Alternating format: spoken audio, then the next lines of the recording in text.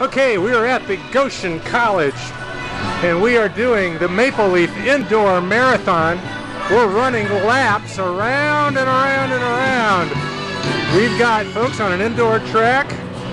We're about 20 laps in right now to a 204 lap exercise. You can see the fast guys, you can see the slow guys, you can see all the individual guys and gals as we are running. Laura, you're doing great. Way to rock on. So, this is fun. We're having a great time. Hey, hey, that's right. Rock on. There we go. Okay. So, and here comes Maggie, fellow maniac. Go get him, Maggie. Keep on going.